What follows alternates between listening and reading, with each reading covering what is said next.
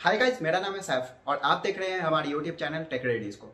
Guys जब भी हम लोग किसी भी गैजेट को यूज़ करते हैं, चाहे वो हमारा लैपटॉप हो या फिर स्मार्टफ़ोन या फिर टैबलेट या फिर स्मार्ट टीवी हो तो हम लोग उसके डिस्प्ले से इंटरेक्ट करते हैं। कहने का मतलब क्या हुआ कि हम लोग कोई सा भी गैजेट यूज़ करते हैं, उसका जो सबसे मेन पार्ट होता है, उसका डिस्प्ले होता है, क्योंकि हम लोग इसी से इंटरेक्ट करते हैं। हम लोग जो भी मल्टीमीडिया कंजप्शन करते हैं, हम लोग इसी से करते हैं। अब ऐसे में आप लोगों ने बहुत बार सुना होगा कि हमारे फ़ोन में एलसीडी डिस्प्ले है, हमारे फ़ोन में एमोलेड है, हमारे फ़ोन में ओलेड या फिर सुपर एमोलेड या फिर लिक्विड एमोलेड या फिर डायनेमिक एमोलेड तो गाइस आखिर ये सारे टर्म्स होते क्या है? और गाइस क्या ये हमारे लिए ज़रूरी है या नहीं? आज की वीडियो में हम लोग इसी सब के बारे में बात करने वाले हैं। तो चलिए गाइस हम लोग वीडियो को शुरू कर लेते हैं। तो गाइस जब भी हम लोग डिस्प्ले की बात करते हैं तो बेसिकली बहुत सारे डिस्प्ले हम लोगों को मौजूद अभी देखने को मिलते हैं। एग्ज़ाम्पल के तौर पे एलसीडी या फिर एमुलेट या फिर सुपर एमुलेट तो आखिर ये कैसे काम करता है? सबसे पहले हम लोग इसको समझते हैं। तो गाइज़ हम लोग एलसीडी डिस्प्ले की बात करें तो एलसीडी डिस्प्ले में होता क्या कि उसमें बहुत सारे लेयर्स होते हैं।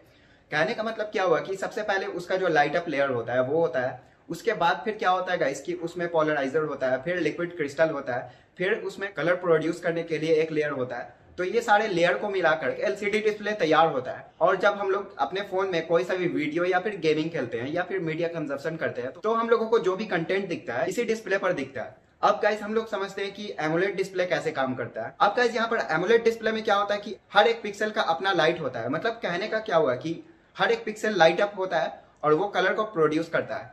इसमें बैक से कोई लाइट देने की ज़रूरत नहीं होती है।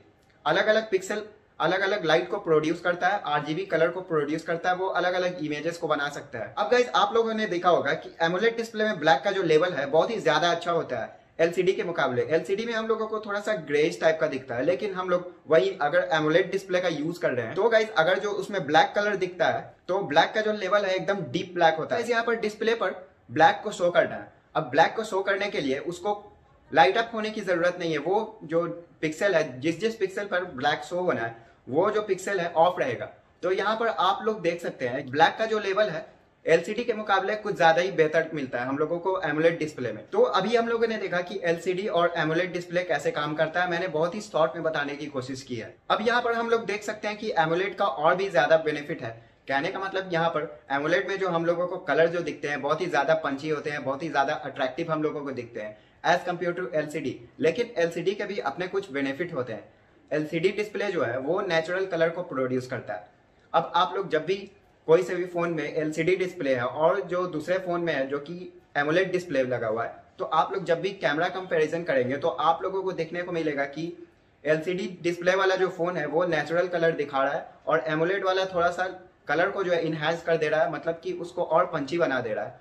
तो ये दोनों के प्रोज और कॉन्स हैं। अब हम लोग बात करते हैं कि सुपर एमोलेट क्या होता है। एमोलेट डिस्प्ले में एक डिस्प्ले का लेयर होता है और दूसरा होता है टच का लेयर। और वही हम लोग बात करते हैं सुपर एमुलेट में। तो सुपर एमोलेट में क्या होता है कि गाइस टच और डिस्प्ले दोनों ही एक दूसरे में कंबाइन होते हैं। और वही एमुलेट डिस्प्ले में टच और डिस्प्ले दोनों अलग होते हैं। हम लोगों ने समझा कि ये तीनों डिस्प्ले कैसे काम करते हैं।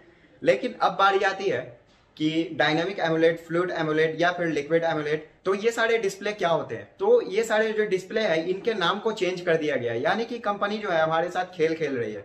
अब यहाँ पर खेल खेलने का मतलब क्या हुआ कि हम लोगों के बीच में एक कंफ्यूजन क्रिएट किया जा रहा है। एक हाइप क्रिएट किया जा रहा है कि हमारा जो डिस्प्ले है, ये लिक्विड एमुलेट है। इसके नाम से जो है आप लोगों को कंफ्यूजन होगा कि, अरे भाई, ये जो है लिक्विड एमोलेट डिस्प्ले है, इसमें कुछ ज़रूर खास होगा। अब गाइज़ आप लोगों ने सुना होगा कि लिक्विड एमोलेट या फिर फ्लूड एमुलेट तो इसमें क्या होता है कि हम लोगों को मार्केटिंग टर्म्स का, यानी कि हाइप बनाने के लिए इस टर्म्स को यूज़ किया जाता है कंपनी की तरफ़ से।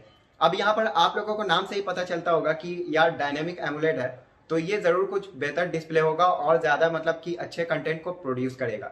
अब वही लिक्विड एमुलेट है। वो गाइस आप लोगों के माइंड में सवाल आएगा कि ये जो डिस्प्ले है, बहुत ही ज़्यादा कलर को अच्छा प्रोड्यूस करेगा। ये डिस्प्ले वाले फ़ोन को लेना चाहिए। लेकिन हम लोगों को यहाँ पर कंफ्यूज नहीं होना है, क्योंकि कंपनी जो है, ये ऐसा करती है हाइप बनाने के लिए हाइप क्रिएट करने के लिए।